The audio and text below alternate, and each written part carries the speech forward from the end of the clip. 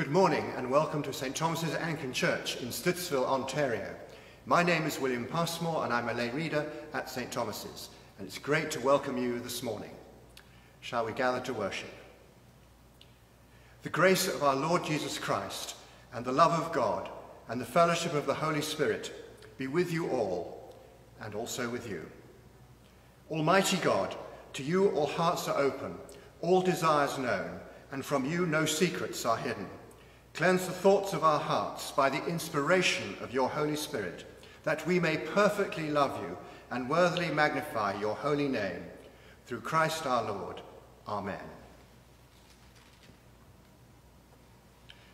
Almighty God, your Son has opened for us a new and living way into your presence.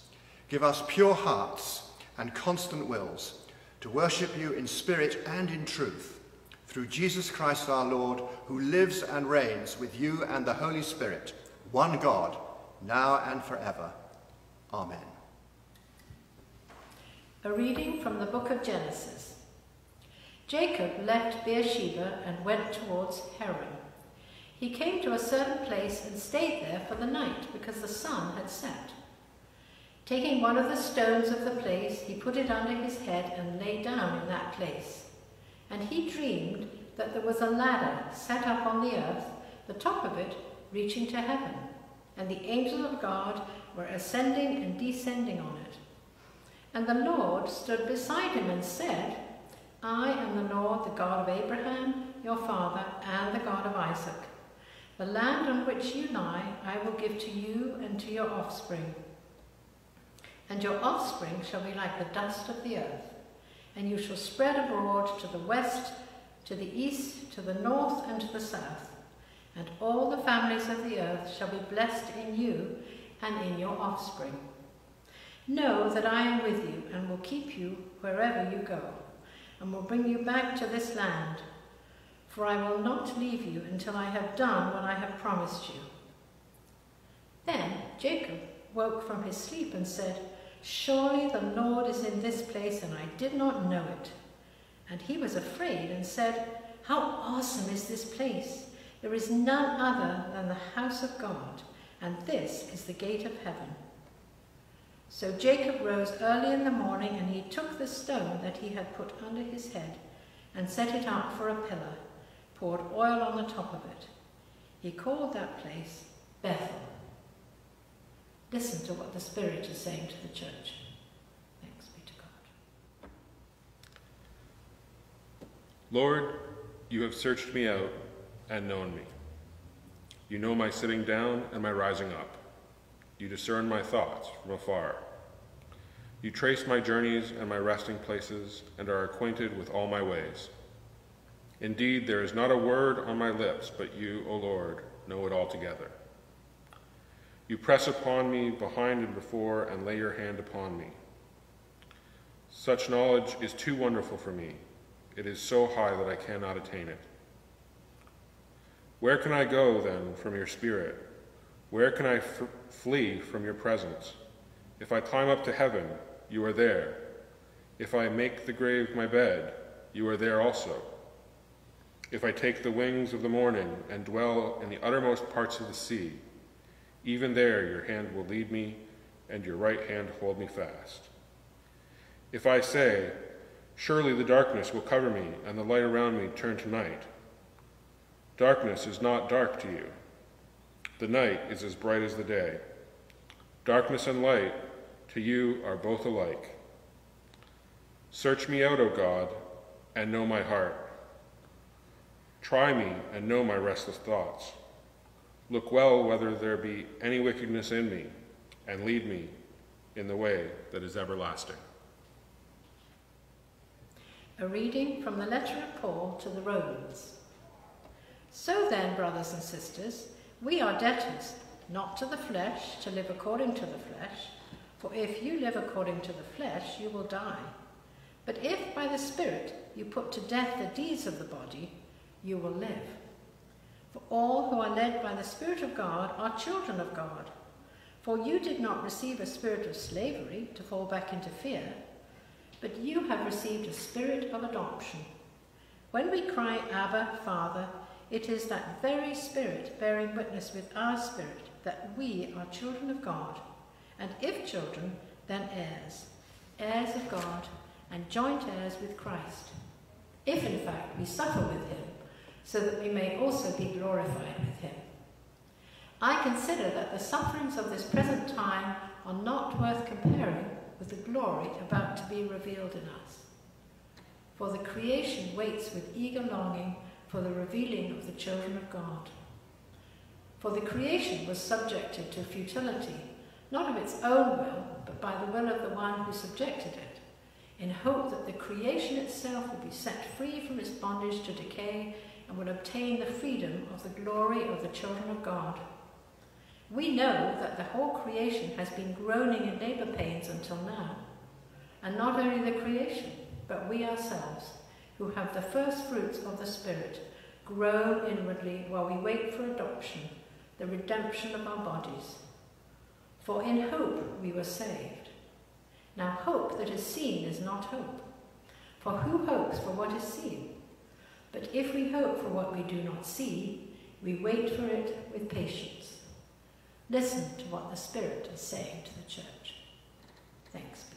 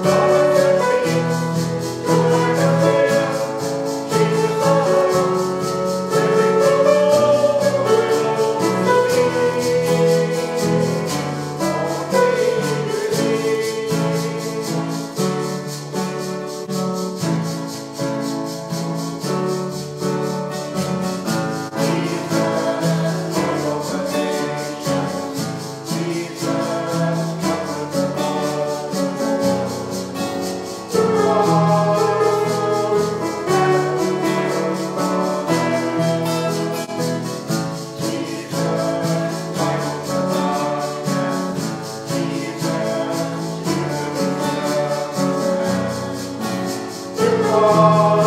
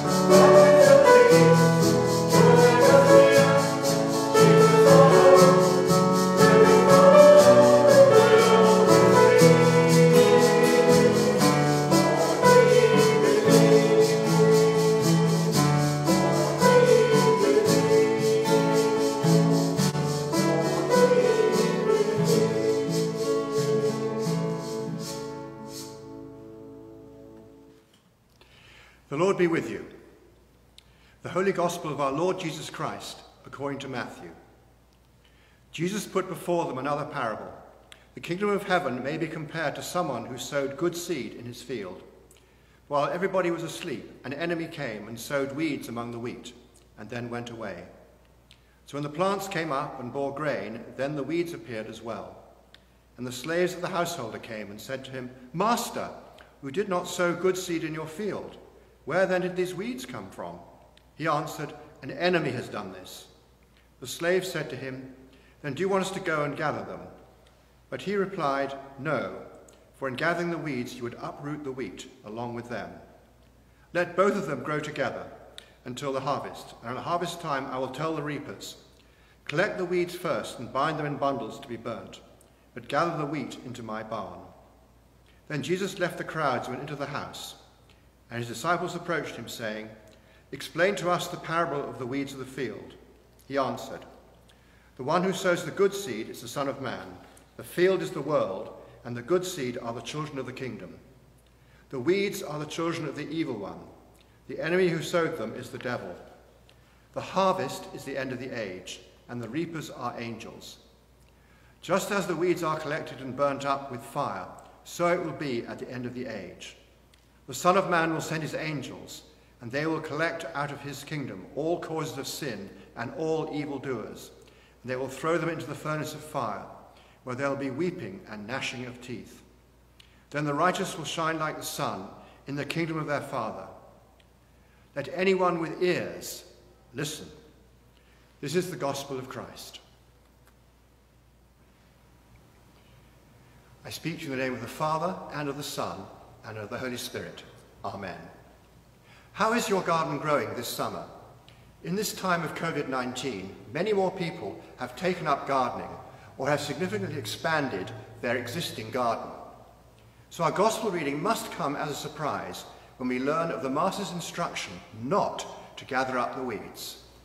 This runs contrary to horticultural logic, where we diligently weed our gardens in order that the effort of fertilizing and watering gives us the most beautiful flowers and the most prolific vegetables. However, from an agricultural perspective, this parable makes perfect sense. True farmers spray their crops to minimize weeds, but it is impractical to pull out weeds in the wheat fields once the plants start to grow. The fields are too large. In Jesus' private explanation of the parable, the good seed are the children of the kingdom, who have chosen to follow him the weeds are those who are described as the children of evil. Most, if not all of you, will, will identify with the good seed. The good seed is a metaphor for us as Christians. The good seed grows alongside each other, but they also grow alongside the weeds.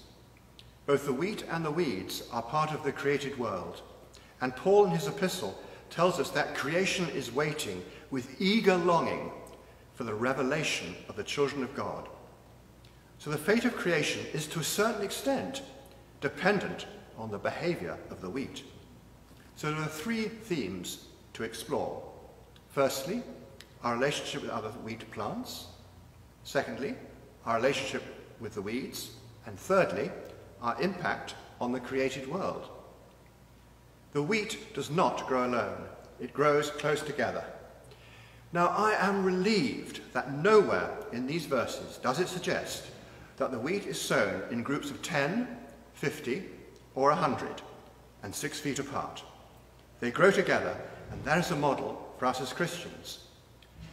Correctly now, we are physically distancing, and this has been difficult, for we have not been together physically for four months. An upside for me has been and is a joy to be on the phoning ministry, with the opportunity to talk with many of you some of you I know quite well, but with others, it has been an opportunity to get to know you. However, there are wheat plants that we are not aware of. Many have been encouraged to join us on social media for our online Sunday services. Statistics show that online church attendance has more than doubled physical attendance. This is wonderful as we welcome those who are joining us online Many other churches are having similar experiences. In one Western country, statistics show that one in four citizens are attending online, with one in three attending in the 18 to 30 age group. The same statistics suggest 80% of those joining online live within walking or driving distance of our churches. Since COVID-19 appeared, there is an increased desire to connect. More than ever, there is a need and opportunity to let others know that we have a faith in our Lord Jesus and what that faith means to us. This could be scary. St. Paul says, The Spirit you received does not make you slaves, so that you live in fear again. Rather, the Spirit you received brought about your adoption to daughtership and sonship. The Spirit cries, Abba Father, Daddy. By connecting with them physically or electronically, we can be a source of mutual encouragement to one another. This may bring us into contact with weed plants that are in other denominations. Great initiatives of the church come about when we work together with other Christians at all levels in the Christian church. I've just finished reading the biography of Hudson Taylor, who took the gospel to inland China. He worked in conjunction with Anglicans, Methodists, Lutherans, Baptists, and others from several different countries. The creators of the Alpha Course reached across national and denominational boundaries, so the Alpha Course is available in most denominations and in many countries. As the adventure of COVID-19 continues, let us look out for others who we can encourage and be encouraged by. So what is our relationship with the weeds? Please forgive the pun, but this passage seems very cut and dried. It's a language that is very hard for us to hear in the 21st century. We are loath to be judgmental, and we can be very critical of others when they are judgmental. And with good reason, for if I point my finger at someone for being evil or for doing wrong, look where the other three fingers are pointing, right back at me. So are we ready to reach out to the weeds? There is some difference of opinion by commentators as to what is meant by the weeds. Are they thistles or dandelions? Or is it the Near Eastern plant called darnel? Darnel is a plant that is similar to wheat. It is so similar that you can only tell the difference when the ears of wheat start to ripen. In rabbinic schools, it was regarded as degenerate wheat. The original parable creates a very predictable fate for the weeds. But in Jesus' private explanation, he says, The Son of Man will send out his angels, and they will weed out of his kingdom everything that causes sin and all who do evil. He talks about the removal of causes of sin, which allows for repentance and a turning to Christ for those who do not know him. Our psalm further supports this when the writer asks that any wickedness in me would be revealed, and he would lead me in the way that is everlasting. The parable makes the harvest seem like an instantaneous event at the end of the age. But in the rest of Scripture, there is a reference to the last days. And the last days cover the period from Jesus' ascension to his second coming. So this gives opportunity for the weeds to change. The weeds that are destroyed refer to those who are determined to resist God for their whole life. Does this seem unfair? We are not robots.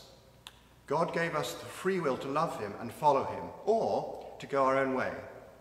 God respects our decision, even though he reaches out to us in love and compassion for us to follow him. If we do not follow him, then clearly we want to be separate from him after death. The fire that Jesus talks about is the permanent decision to separate ourselves from God. But remember the thieves that were crucified with Christ. We would judge them both as weeds However, one thief acknowledged Jesus and turned to him in his last minutes. And Jesus said to him, Today you will be with me in paradise. He was a weed and became a wheat. It's interesting to note that the darnel, the weed, has many similarities to the wheat. They look similar, they both produce seeds. It could be said that they have common interests. And so with others who we meet who may not have no faith, they share interests that we can identify with hobbies, work, family situations, neighbours, travel interests, and so on. These all become areas of common interest where we can share our ideas, likes, experiences, and opinions. Through the relationships, we can share what our faith means to us and commend it to them. Another area of common interest is the environment and our impact on the created world and the influence of COVID-19 on the environment. With a dramatic reduction in mankind's air travel, road travel and shipping, many have noticed that in our larger cities, the sky has been bluer the smog is disappearing. In a recent edition of Maclean's, there have been articles about the significant returning of life to coral reefs in the South Pacific, as well as a reduction in risk of ships colliding with whales in the North Atlantic. Are these small examples of what St. Paul said when he said, We know that the whole creation has been groaning as in pains of childbirth right up to the present time? For, for the creation waits in eager expectation for the children of God to be revealed. So, I believe that the call for us as Christians is to encourage us to be revealed. The world is waiting for us to reach out. As a leading Christian said, the Holy Spirit is much more concerned for our family, our friends, our co-workers, our neighbours, and others that we meet than we are. We can show how important God is in our lives. We can help others to connect to the body of Christ, the church. So in conclusion, be encouraged to reach out to other Christians and get to know them. Remember, 80% of those joining us online live near to us. Get to know Christians from other local churches who may live on your street or in your retirement home. COVID-19 has given me the opportunity to meet with some Christians on my street and to get to know them much better. We can help and encourage them. They can encourage us. Make sure that we are living out our lives to those who do not yet have faith, seeking the opportunity to share our experience of the Lord with them. Now, in this homily, I have assumed that most, if not all of you, would identify as the wheat, growing in God's field. But it may be that some of you are not so sure. If you identify with more with the darnel, the weeds, that, the weeds, then I want to tell you that God loves you, and he sent his son to die for you on the cross, to remove the barrier of sin, and to bring you into relationship with him. If that is you, I commend this prayer to you. Dear Lord Jesus, I know that I am a sinner. I ask for your forgiveness. I believe that you died for my sins and rose from the dead. I turn from my sins and invite you to come into my heart and life. I want to trust you as my Lord and Saviour. Amen. Let us pray with confidence to the Lord, saying, Lord, hear our prayer. O Lord, guard and, guard and direct your church in the way of unity, service, and praise. Lord, hear our prayer. Give to all nations an awareness of the unity of the human family. Lord, hear our prayer. Cleanse our hearts of prejudice and selfishness, and inspire us to hunger and thirst for what is right. Lord, hear our prayer. Teach us to use your creation for your greater praise, that all may share the good things you provide. Lord, hear our prayer. Strengthen all who give their energy or skill for the healing of those who are sick in body or mind. We especially pray for all the frontline workers as we work our way through the current COVID-19 pandemic. Lord, hear our prayer. Set free all who are bound by fear and despair. Lord, hear our prayer. And grant a peaceful end and eternal rest to all who are dying, and your comfort to those who mourn. Lord, hear our prayer. And now, as our Saviour Christ has taught us, we are bold to say, Our Father, who art in heaven, hallowed be thy name. Thy kingdom come, thy will be done, on earth as it is in heaven. Give us this day our daily bread, and forgive us our trespasses, as we forgive those who trespass against us. And lead us not into temptation, but deliver us from evil. For thine is the kingdom, the power, and the glory, for ever and ever. Amen. Glory to God, whose power working in us can do infinitely more than we can ask or imagine. Glory to God from generation to generation, in the church and in Christ Jesus, forever and ever. Amen. Go in peace to love and serve the Lord. Thanks be to God. Hallelujah, hallelujah, hallelujah. Thank you so much for worshipping with us at St. Thomas's. We look forward to seeing you online next week.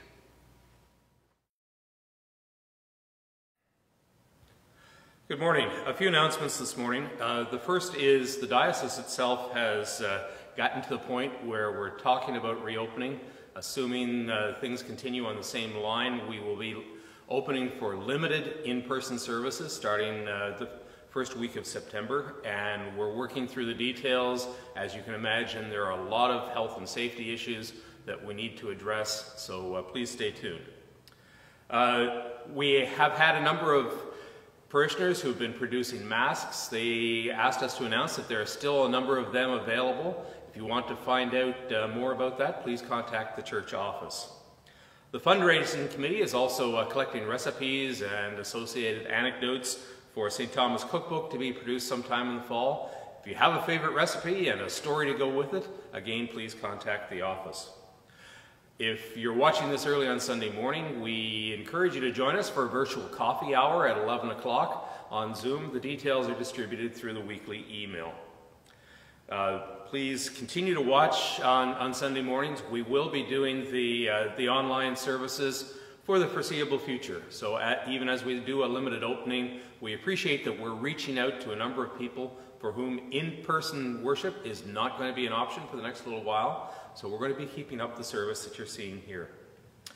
In terms of prayers this week, going through our, our parish family, we pray for Linda Stevenson, Gloria Stewart, Jennifer Ann and Anna Stiptek, Nancy Stiptek, and Heather Sullivan. And we also uphold those who are sick and in need of healing. Mary, Michael, Peter, Deline, Bonnie, and Lil. And uh, thank you for worshiping with us this morning. If you found this useful and you want to support our ministry, we have a number of ways that you can support us. Please contact the church office and we'd be happy to explain them to you. God bless.